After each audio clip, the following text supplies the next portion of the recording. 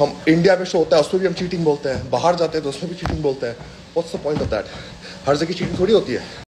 दूसरों को ऊपर ब्लेम करने से बेटर है कि आप खुद को बोलो कि यू कैन डू बेटर सीधा सीधा कॉल जाता है राहुल के लिए हर बार कि इसको जीतने नहीं देना है बस। ये राहुल है? मैंने कहा हाँ। बोलता है ये टोक्यो में भी खेला था जापान में। मैंने कहा हाँ। तो उसने बोला कि भाई ये आगे नहीं आ सकता। मैंने बोला वाई तो उसने बोला कि भाई पीछे से इनको फ़ोन आते हैं। भुवन चौहान ने राहुल फिटनेस की हांगकांग में प्लेसिंग आने के बाद कुलदीप यादव का रिएक्शन देखते हुए जिस प्रकार से कुलदीप यादव ने राहुल फिटनेस की प्लेसिंग के विषय में स्टेटमेंट देते हैं, अपने इंस्टाग्राम स्टोरी पे इस वीडियो को शेयर करते हैं और यहाँ पर लिखते हैं, ये वीडियो देखो, सब और बताओ, राहुल के एप्स या बैक बीक थे क्या जो जीते हैं उनसे? एंड इसके अलावा कुलदीप यादव और भी वीडियो राहुल फिटनेस की ऑन स्टेज के शेयर करते हैं। और यहाँ पर कुलदीप यादव बताते हैं कि जब हमने जजों से फीडबैक लिया तो यहाँ पर जज हमको फीडबैक देते हैं। वो यहाँ पर वो बोलते हैं फीडबैक फ्रॉम द हेड जज was Rahul core was not tight enough plus he need to improve his back wow seriously जैसे कि आप सभी को पता है राहुल फिटनेस का जो बैक है, वो एकदम परफेक्ट जितना भी मैंस फिजिक के हिसाब से इम्प्रूव होना चाहिए, वो एकदम परफेक्ट है। तो यहाँ कुछ इस प्रकार से कुलदीप यादव का रिएक्शन था। फिर इसके बाद भुवन चाँद कुछ ही देर बाद अपनी इंस्टाग्राम स्टोरी पे इस पोस्ट को शेयर करते हैं, जिसको आप लोग आराम से यहाँ पर पढ़ सकते हैं। यहाँ पास हमने वीडियो भी शेयर कर दिया है कि पहले किसने कौन सी पोस्ट शेयर की है, उसके बाद किसने कौन सी पोस्ट शेयर की तो आप यहाँ पर देख सकते हैं, सबसे पहले कुलदीप यादव पोस्ट शेयर करते हैं फिर उसके कुछ देर के बाद भुवन चौहान इस पोस्ट को शेयर करते हैं। लेकिन यहाँ पर भुवन चौहान डायरेक्ट रूप से कुलदीप यादव फिर राहुल फिटनेस को नहीं कह रहे। तो क्या यहाँ पर भुवन चौहान इनडायरेक्ट रूप से कुलदीप यादव एंड राहुल फिटनेस को कह रहे हैं? आप लोग हमें कमेंट करके बता सकते हैं। अब हम इन दोनों वीडियो के विषय में बात करें कि पहला किसका वीडियो आया था और बाद में किसका आया था। तो हम आप सभी को बताना चाहते हैं कि जैसे ही भुवन चौहान का लाइव वीडियो खत्म हुआ है, उसके 40 सेकंड पहले ही कुलदीप यादव ने भी इस वीडियो को शेयर कर दिया था। मतलब कि यहाँ पर वीडियो को देख के एक दूसरे को यहाँ पर रिप्लाई नहीं किया गया है। कुलदीप यादव ने भी एक साथ वीडियो शेयर किया और वहाँ दूसरी तरफ़ भुवन चौहान भी इंस्टाग्राम पे अपने लाइव थे। तो दोस्तों, आप लोगों को आगे भी इसी प्रकार से बॉडी बिल्डिंग की सटीक जानकारी चाहिए तो वीडियो को लाइक एंड चैनल को सब्सक्राइब कर लीजिएगा प्लस बेल आइकॉन को ऑन कर लीजिएगा। एंड आप हमें कमेंट करके बता सकते क्या यहाँ पर भुवन चौहान कुलदीप यादव कह रहे हैं या फिर किसी और को। एंड कुलदीप यादव का भी आप लोग कंप्लीट वीडियो देखेगा और आप हमें कमेंट करके बता सकते हैं, क्या यहाँ पर कुलदीप यादव सही कह रहे हैं या फिर गलत? राम राम भाई तो यार एक चीज़ शेयर करनी थी। पता चली मतलब काफ़ी देर से थोड़ा लग रहा था कि बता ही देते हैं सबको थोड़ा। तो सबसे पहले तो ये है भाई, ये वसी भाई है, ये पाकिस्तान से है। ये हमारे लिए आज पूरे दो दिन इन्होंने इतनी मेहनत करी, सब कुछ मतलब ये मील से लेके इधर आना जाना सब कुछ, इतनी हेल्प करी इन्होंने पूरी। तो ये खड़े थे मेरे साथ, जब हम हेड जज से फीडबैक ले रहे थे। वो वीडियो भी मैं डालूँगा कि क्या फीडबैक दिया है प्रूफ के साथ सारी बातें करेंगे। तो पहले इनसे पूछो कि एक बंदा आया, इनके जजिंग पैनल से ऑफिशियल बंदा। तो हमें चाइनीज़ आती नहीं, हमें पता नहीं था। भाई को क्या बोला, ये खुद बताएँगे। सो so, पहले तो बहुत सैड हुआ। अभी तक शौक में इसलिए वीडियो नहीं बनाई। ये पहले बात शेयर कर देनी चाहिए थी बट अभी तक नहीं शेयर की। उसकी वजह यही थी कि हम लोग सैड थे। तो हम लोग जजिंग से ले रहे थे तो पीछे से एक बंदा आया तो उसने बोला कि वो चाइनीज़ में बात कर रहा था। तो मैं वीडियो बना रहा था लाइव में गया हुआ था। तो मैंने वो फटाफट लाइव बंद की। तो मैंने बोला हाँ मैंने चाइनीज़ में पूछा क्या हुआ? तो उसने बोला कि तो ये राहुल है? मैंने कहा हाँ। बोलता है ये टोक्यो में भी खेला था जापान में। मैंने कहा हाँ। तो उसने बोला कि भाई, ये आगे नहीं आ सकता। मैंने बोला वाई तो उसने बोला कि भाई, पीछे से इनको फ़ोन आते हैं कि भाई, इस बंदे को आगे नहीं लाना आपने। समझ जाइए जो मर्ज़ी हो जाए, इस बंदे को आगे नहीं लाना। तो बोलता है, इसी वजह से थ्री प्लेस से अभी फोर पे चला गया ये। तो इसको कभी भी आगे नहीं आने देंगे। तो उसको बोलता है कि टू टाइम्स आया मत कर इधर, तू और कुछ कर ले। तो हमने बोला कि, भाई, ये बोला किसने? उसने बोला, हम नहीं बता सकते, क्योंकि ये सीक्रेट है। हमारी, हमारा काम है ये। बट हमने इसलिए गाइड किया है कि हमने देखा है, मैंने ये, इसकी कंडीशन देखी है, इसका सब कुछ देखा है। टॉप नॉइज़ था और उसको फिर भी पीछे दिखा है। तो इसलिए हमने, मैंने मैंने समझा कि मैं इसको बता दूँ कि अपना, इतना हार्ड वर्क ना करे, क्योंकि वो भी एक बॉडी बिल्डर है, वो भी एक जज है। उसको भी पता है कि हम, हमारा जो हार्ड वर्क होता है। तो ये चक्कर है। यार, आप देख रहे हो किस लेवल तक मतलब अपने इंडिया में स्पोर्ट्स में इवन बॉडी बिल्डिंग में किस लेवल तक पॉलिटिक्स चलती है? राहुल अगर जीत जाएगा तो बाकी सारे एथलीट भी मोटिवेट होंगे बाहर खेलने के लिए। पिछला शो इनका इंडिया में फ्लोप रहा। तो ये चाहते हैं कि राहुल किसी भी हालत में ना जीते। बाकी आप सभी को पता ही है कि भाई, कितना इमोशनली डिस्टर्ब था वो, उसके सगे छोटे भाई की डेथ हो गई थी ये मैंने सबको बताया। तक रोया रहा। इनसे पूछो। घंटे वो मेरे घर पे बैठ के वो बंदा रोया है तीन घंटे लगातार। हम लोग चुप थे हम लोग कुछ बोल नहीं सकते थे। इसीलिए मैंने ये स्टेटस लगाया था कि पता नहीं खेल पाएँगे या नहीं लेकिन मैंने कन्विंस किया उसको। इतना सब होने के बाद भी इतनी अच्छी फॉर्म लेके वो स्टेज पे उतरा आपने देखा होगा। और फिर इन सब चीज़ों के चलते अगर एथलीट को हार का सामना करना पड़े तो आप लोग बताइए क्या सोल्यूशन है यार इस चीज़ का? जज का फीडबैक मैं वीडियो डालूँगा क्या था कि राहुल को एब्स चाहिए और क्लियर इवन के जो लोगों लोग जीतते हैं उनकी कंडीशनिंग और राहुल की कंडीशनिंग आप देख लेना क्या कितना डिफरेंस था। यार इतना आइडिया तो हमें भी है। हम मान लो दस साल से टाइम खराब थोड़ी कर रहे हैं कि केवल जज को ही पता है जजिंग हमें किसी को कुछ ऐसा भी नहीं है कि हम हर बार कंप्लेन करते हैं।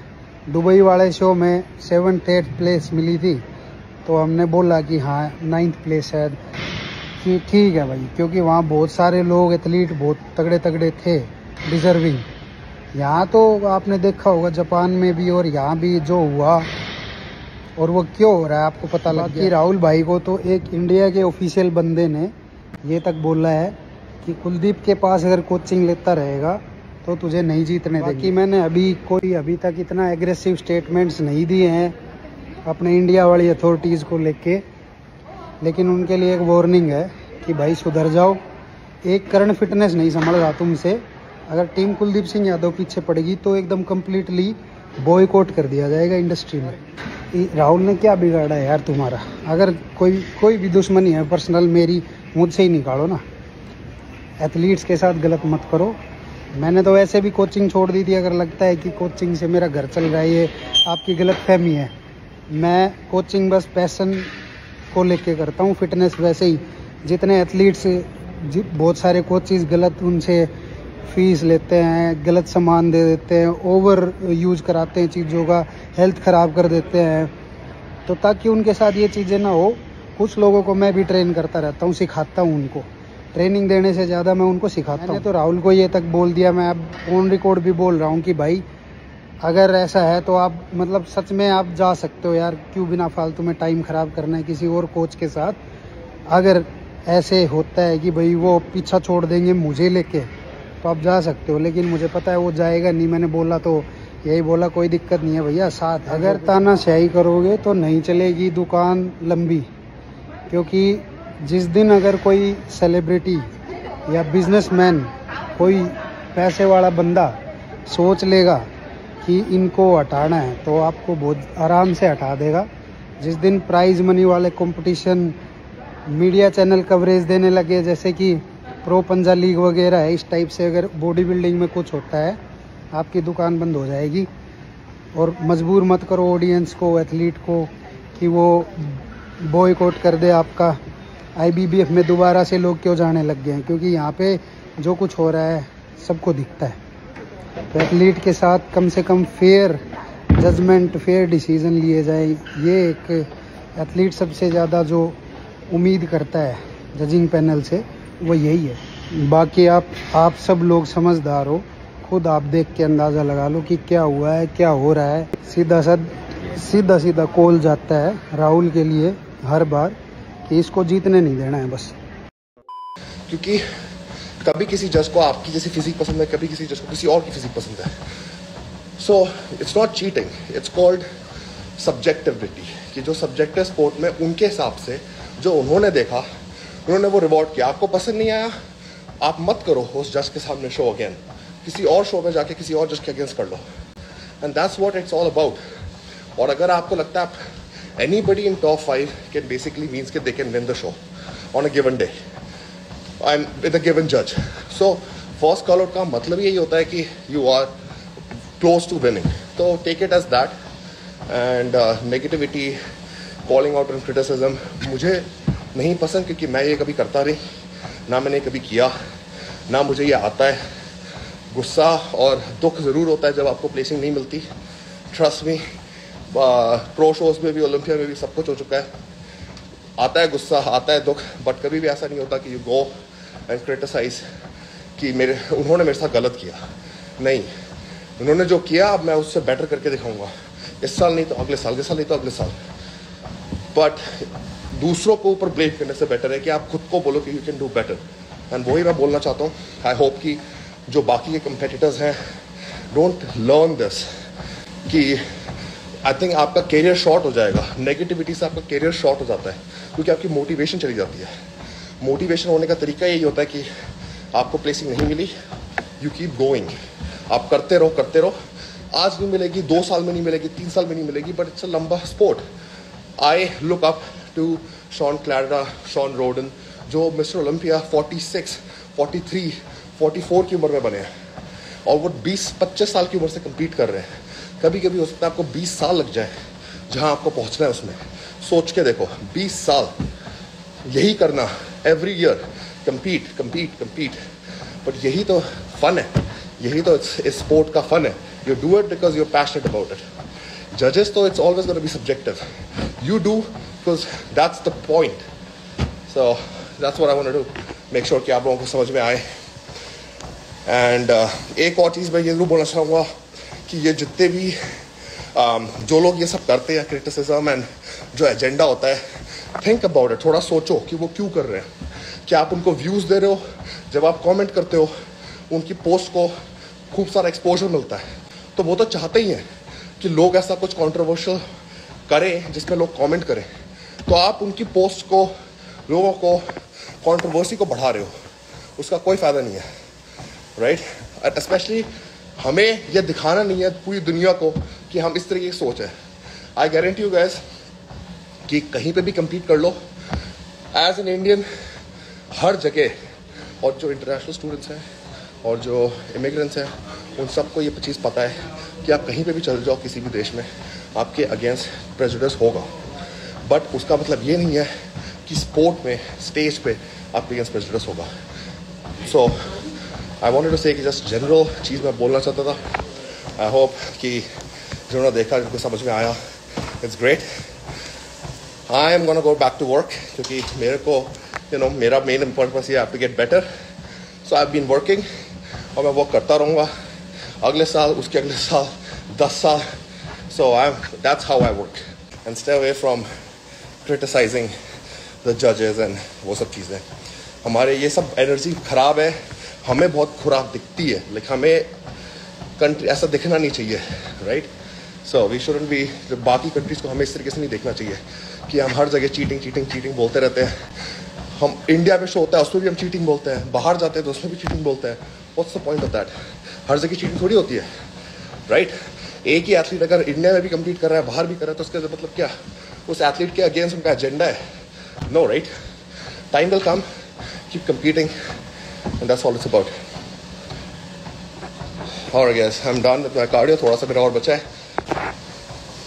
माय नेक्स्ट शो मैं प्लान कर रहा हूँ। Uh, मेरे को दो तीन शो मेरे दिमाग में है जो मैं करना चाहता हूँ। आई थिंक मैं उसका अनाउंसमेंट शुरू जल्दी करूँगा।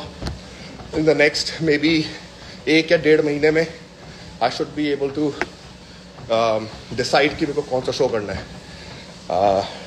It is gonna be in 2025 but uh, yeah i think i'm ready to get back on stage and uh, show the improvements. But उससे पहले अभी मेरे को एक और इम्प्रूवमेंट सीज़न करना है ताकि जो नई मसल है ये सीमेंट की तरह हार्डन हो जाए एंड परमानेंटली रहे। सो so, मेरे लिए it's all about gaining size so that's all it takes right जितना मैं साइज़ गेन कर लूँगा जितना अपने वेट कैप के पास रहूँगा उतना मेरा स्ट्रक्चर फिल हो जाएगा उतना अच्छा मैं कर लूँगा। So it's very simple now तो that's all it is time लगेगा टाइम लगता रहेगा we'll give it but we'll do it again and again again and again and we'll keep competing again and again. And that's all it's about. That's what I'm going to do. I'm in Florida right now. एक और खुशखबरी आने वाली है India में I think मैं 2025 की prep पूरी मैं इंडिया में करूँगा सो so, क्यों करूँगा उसका रीज़न है बट वो मैं बाद में बताऊँगा. Something big I am planning on पिछले एक साल से मैं किसी भी चीज़ के ऊपर काम कर रहा हूँ. और वो मैं खूब दिखाऊँगा जब आएगा. But yeah 2025 prep will be in India so any मेरा हो गया ये cardio and good night you all